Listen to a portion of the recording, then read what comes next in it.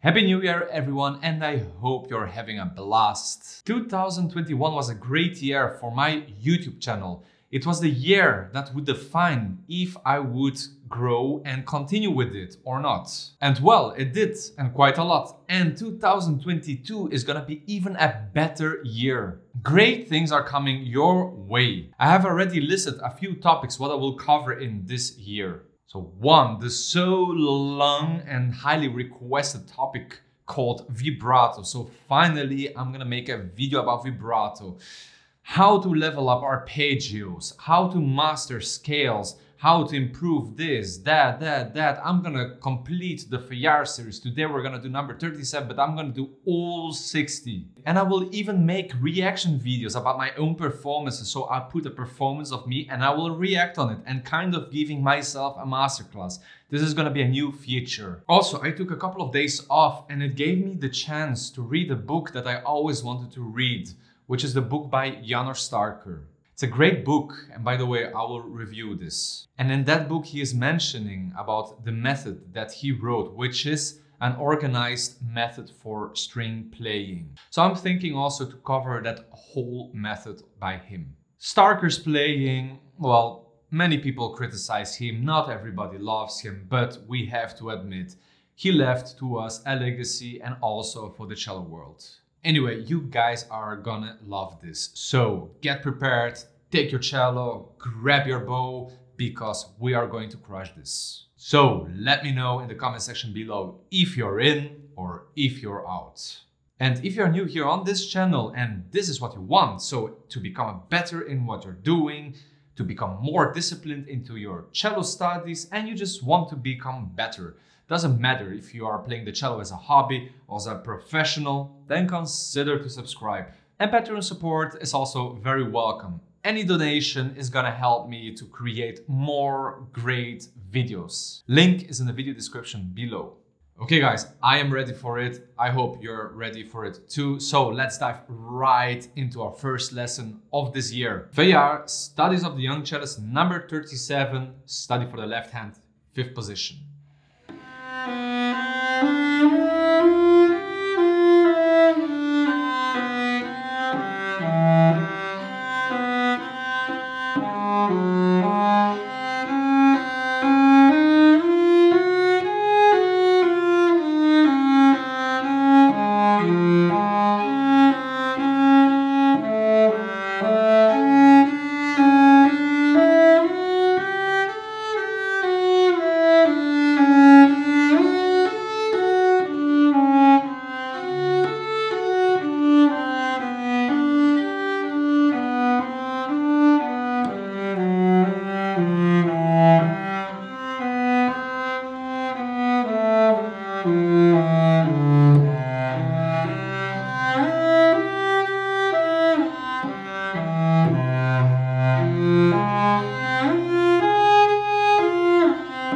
Música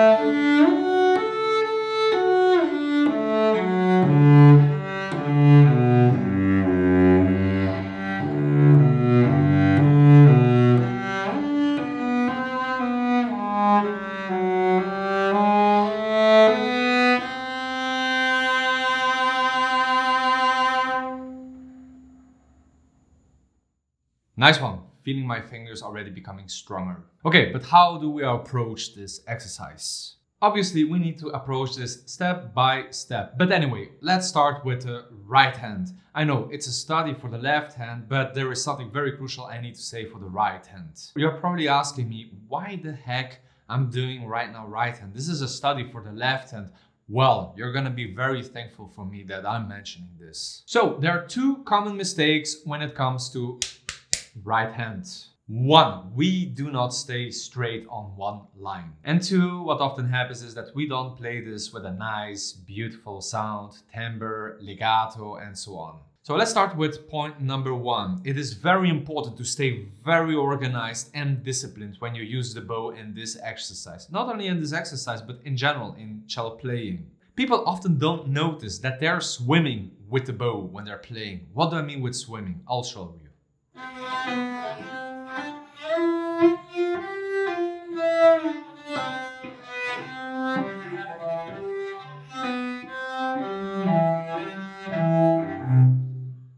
So that was swimming with the bow. Now, let's see when we play this more or less straight. I'm saying more or less because 100% or being perfect in this also doesn't exist. Let's see when we do it more or less with a straight bow.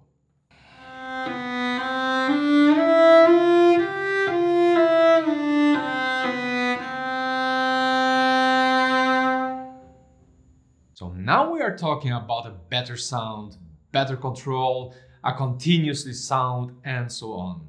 So moral of the story, yes, this has to do a lot with the opening of your elbow. So that one here. See the motion?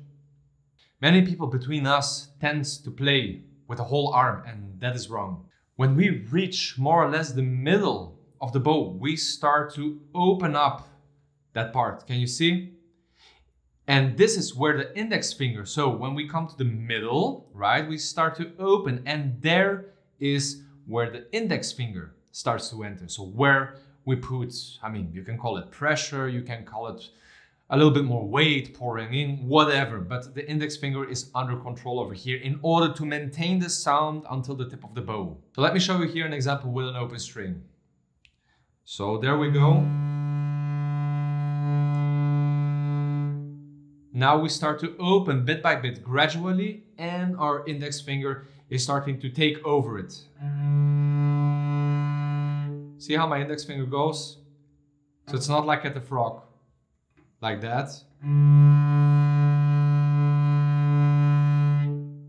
Like this. So please avoid to use the whole arm like this.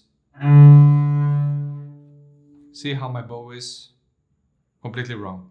Once you have this under control, then it's gonna be easier to understand the second point that I had for the right hand, which is to play this with a nice legato, with a nice sound and so on. What I highly recommend is to use a mirror if you have one. It's optional. It's not really necessarily, but it would be very useful to have a mirror in front of you. So you can watch the mechanics and observe the motion. And the more you do it, the more you understand it and the more it will become natural. So a mirror would be nice to have in front of you. Okay, so these were two points that I wanted to say for the right hand. So this is extremely important. So please avoid that thing to use the whole arm. No, try to find that opening. That thing. It's like when you want to beat someone. Someone is annoying you next door and you just want to give him a smash. So that kind of motion. Right, let's go now to the left hand. So here in the study, in the left hand, you will not find so many difficulties. The right hand usually takes more time than the left hand.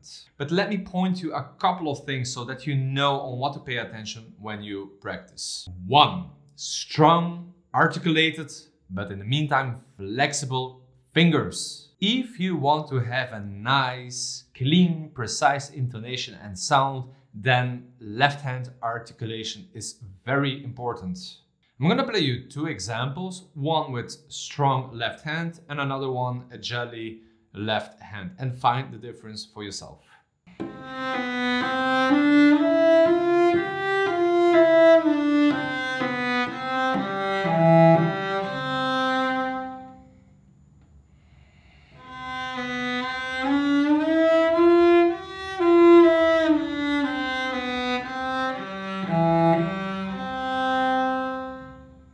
To hammer the fingers. That's how I call it.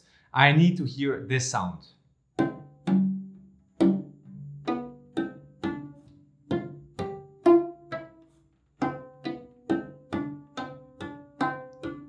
So see that hammering, that and also plucking. So when you leave the left, so when you hit the first note, so this, then you want to pluck it to your left. See? Hammer back, hammer. Okay, there's a shift, so there's no way to hammer that. Hammer. Now we're gonna take the pinky out, so we're gonna pluck it away. So this is pretty useful, one more time. Pluck it away, hammer, pluck, so to your left.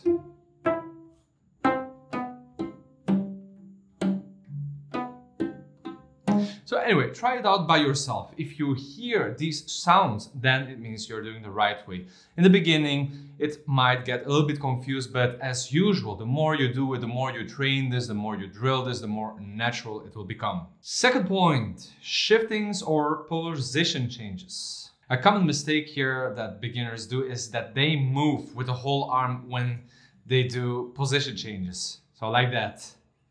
So the whole mechanism goes together and there where it's going wrong. So please avoid to use the whole arm when you're doing position changes because you're playing with luck here. It can be that once or twice you're gonna hit the right note, but also it can happen that it's gonna be completely out of tune and it's gonna be all over the place. So try to avoid it, please. So try to use minimal movement. It's all about this. Can you see the opening also? So not like that. No big movements. All quite small movements. In cello playing in general, everything is about anticipation. And here in this case, we do have left hand anticipation. So look what I do when we have these small distance shifts. See how I squeeze my finger? So I squeeze and then I pull it out. Gone. So this is what happens. People often do this. So see, already it's out of tune. No, we want to use minimal movements. There you go. And the same thing happens backwards. But opposite. So we're squeezing our pinky. So in so avoid. See, I did like that and then it doesn't work. So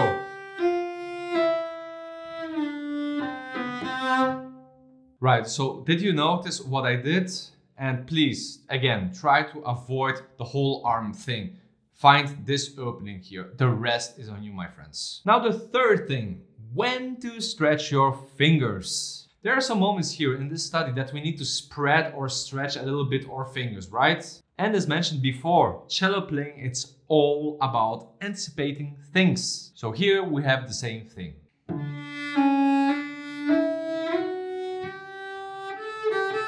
See that one? That was a small stretch. But that was our talking about. Left hand anticipation. One more time. Let's see if you get this. Shift. See, third finger is ready. Because if we wait until the last moment, this will happen. So see, the pitch is not good enough. Get ready. What can help also is to move a little bit your hand forward in order to get a bigger, bigger spread. Spread. Spread.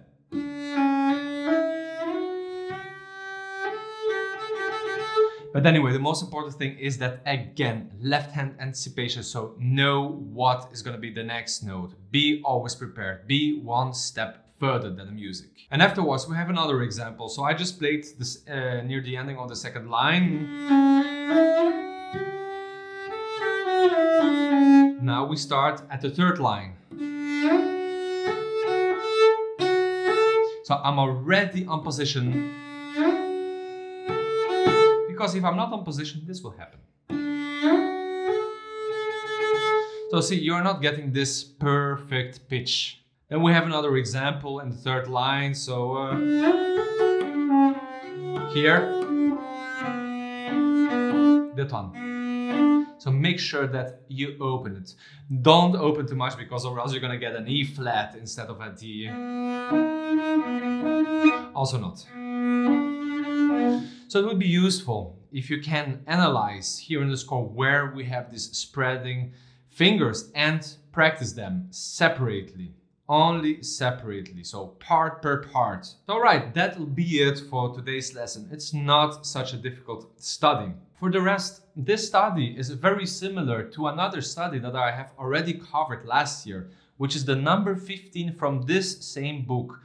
You can find the video right here on this card. If you click on it, it will direct you immediately to this video. So maybe there you also can find a couple of things uh, what I explain. So again, I'm really looking forward for upcoming big projects with you. So are you in or are you out? Thanks for watching. I will see you in the next video.